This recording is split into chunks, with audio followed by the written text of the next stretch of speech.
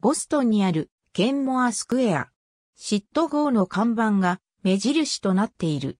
ケンモアスクエアはアメリカ合衆国マサチューセッツ州ボストンにあるタウンスクエア。ビーコンストリートやコモンウェルスアベニューなど主要道路の交差点のほか、アンタの地下鉄のケンモア駅がある。近隣にボストン大学、フェンウェイパーク、そしてボストンのナイトライフの中心地であるランスドーンストリートなどがある。全米最長道路の国道20号線の東端がある。ビーコンストリートとブルックラインアベニューの交差点にあるボストンホテルバックミンスター。ソベリン銀行とピッツェリアウノの看板が見える。現在ケンモアスクエアと呼ばれている。この地はもともと湿地帯であり、居住に適さず、狭いチャールズ川が広いバックベイに流れ込んでいた。ボストンの植民地の一部であったが、1705年、マディカー沿いの小さな村がブルックラインという町になった。数ブロック先にあるマディ川が東の新たな境界線となった。当時スーエルズポイントとして知られ、1777年には南に接続し、1821年の地図によると、現在西に本土と接続するケンモアでは、グレートダム、ブライトンロード、パンチボールロードが交差していた。1850年、ケンモアスクエア西のビーコンストリートの一部が敷かれ、アベニューストリート、ミルダムロード、バックベー水車席を横切る、現在のビーコンストリートと近いウエスタンアベニューと交差していた。バックベイを別々の鉄道橋で渡ってきたボストンウースター鉄道とチャールズ川、支流鉄道がここで合流し、レザー地区に直行していた。近隣の都市開発が行われたが、いくつかのオリジナルの線路がまだ残っている。現在のアンタグリーンラインのサウス駅とマサチューセッツ有料高速道の建設のため微調整された。1874年、ブライトンがボストンと合併し、ボストン、ブルックラインの境界線は、オルストン、ブライトンと新たなバックベイ地域の接続箇所に再度引き直された。1880年、少ししか発展しなかった。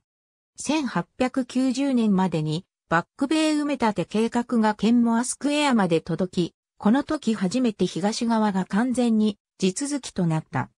1888年、路面電車の線路がケンモアスクエアを通って、クーリッジコーナーからマサチューセッツアベニューまでビーコンストリートに敷かれた。これが最終的にグリーンラインシーとなった。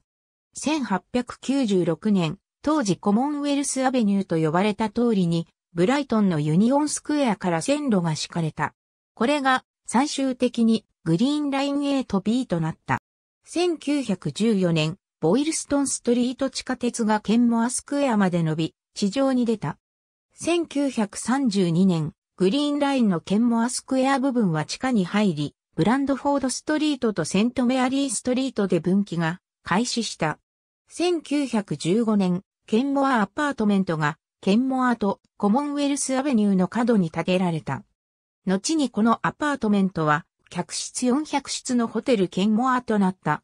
このホテルは、ボストンの著名な開発者、バートラム・ドラカーが所有し、ベースボールホテルとして知られていた。第二次世界大戦以降、14球団中1チームが常に泊まっていた。1960年代から1979年、グラム短期大学が学生寮、学食、図書館、教室として使用していた。1979年にグラム短期大学が閉校した後、シェラトンのような大規模ホテルが建てられ、ホテル兼モアとして再スタートし、最終的に再度アパートメントとなった。現在兼モアビーと呼ばれている。石油会社シット号の巨大な両面看板がケンモア、スクエアを見下ろすように建てられており、ボストンレッドソックスの試合中継で画面に映り込むことから有名なランドマークとなった。6ヶ月にわたる改修計画の後、2005年3月、現在の何千もの発光ダイオードが点灯し午前0時に消灯する60フィート四方の看板となった。耐久性、エネルギー効率、明度、メンテナンスのしやすさから発光ダイオードが選ばれたが、2010年7月からの数ヶ月、風や極端な温度に対応できる新たな発光ダイオードに交換するため停電していた。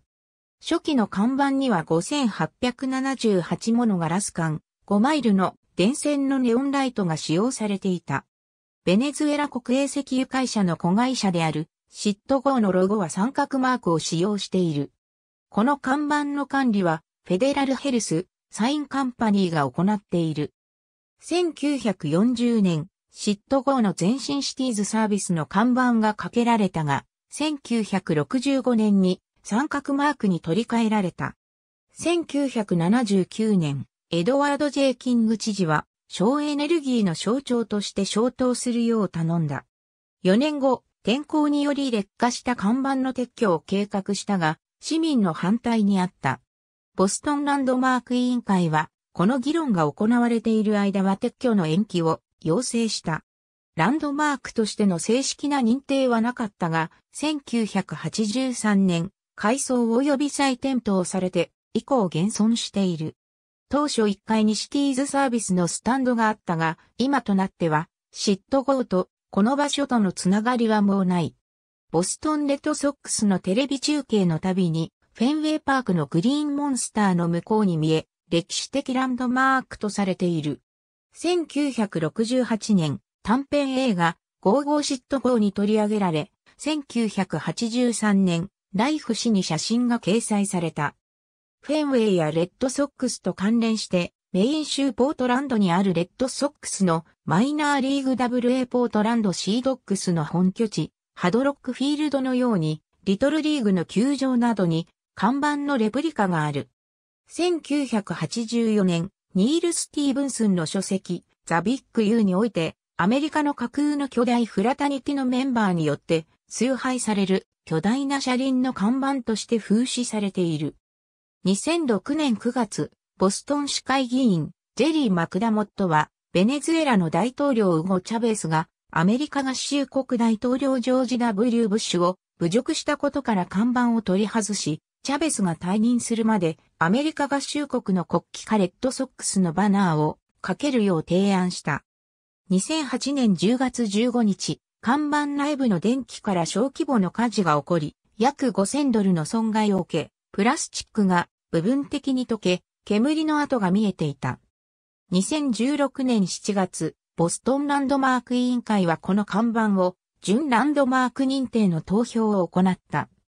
これにより、委員会が3ヶ月の調査を実施するまで看板は取り外せないこととなり、10月に高級的ランドマーク認定の投票が行われることとなった。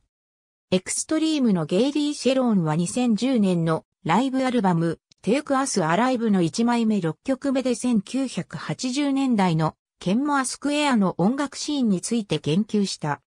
マイティマイティボストーンズはアルバムエージャックナイフ2エースワンの収録曲、I Want My City Back でケンモアスクエアにあったライブハウスのラスケラー閉店について言及した。クイアーズのアルバム、グローアップの収録曲、I Met Her at the Rat に、私は頭が混乱し、ケンモアスクエアのどこにいるのかわからなかったという歌詞がある。ありがとうございます。